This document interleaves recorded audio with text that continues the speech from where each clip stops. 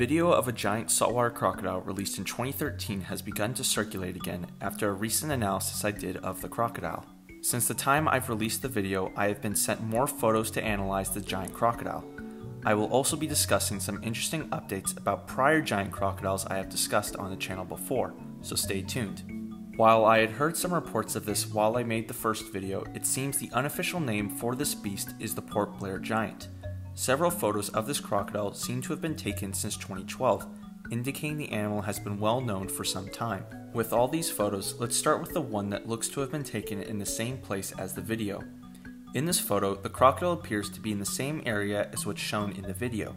This is based on this large piece of wood sticking out, which looks similar in both the film and photo.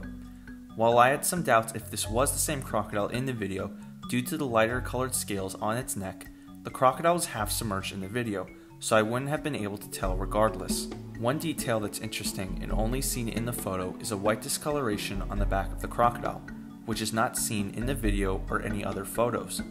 However, it's possible this area of the back could have been dry compared to the rest of the crocodile, or this white area could have been dry dirt, who knows. The main thing that grabbed everyone's attention in the 2013 video was how wide the crocodile was. In my video analysis, I stated that while the Port Blair giant could be naturally wide, it could have had food in its stomach, making it very bloated. With these new photos, it gives us a better idea. Although many of these photos show the crocodile semi-submerged, some photos, especially two taken in possibly 2016, shows the animal could be naturally wide. One photo in particular shows the crocodile on land and gives us a better idea of the crocodile's proportions. Although the photos and video were taken at different angles, I would say that the crocodile had food in its stomach when the film was taken, making him more bulky than what he naturally is. Still, he is a big crocodile. I have read some comments asking if the crocodile is female and perhaps has eggs, making it more bloated. I am confident in this being a male and not female. With how bulky this crocodile is in general, especially with how big the head is, these are all characteristics of a large male, not a female. I am unaware of a female saltwater crocodile with morphologic characteristics such as these. With the more clear photos of the crocodile's head, we can see it has a very rough head with a lot of bumps. This was actually a factor scientists used when trying to determine Lolong's age.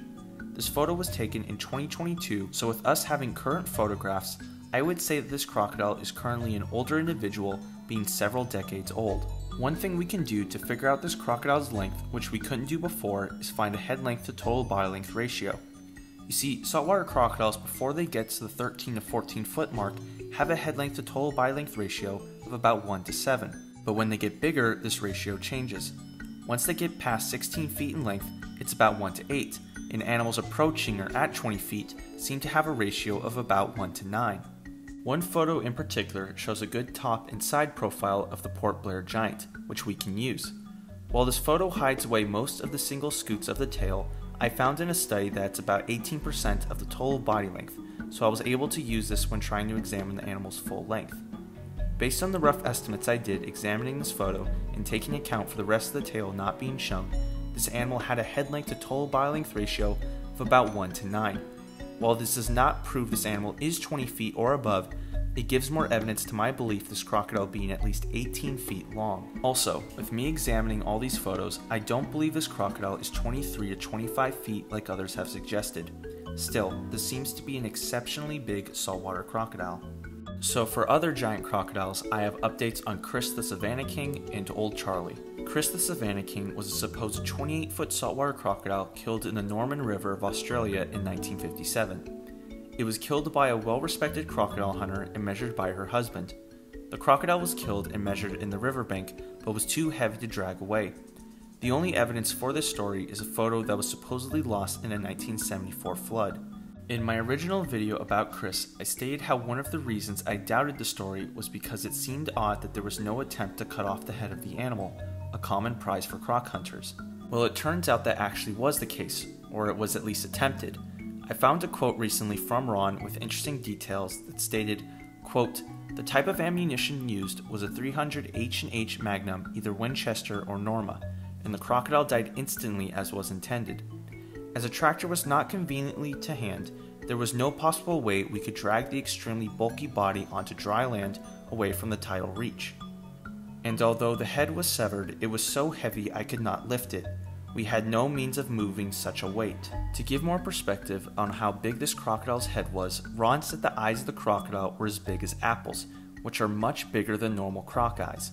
Another detail that's interesting, which I knew about but didn't bring up in my first video about Krys, is that the biggest crocodile Ron had measured up until that point was only 18 feet long. Old Charlie was a 20 foot saltwater crocodile killed in the Mary River of Australia in 1974.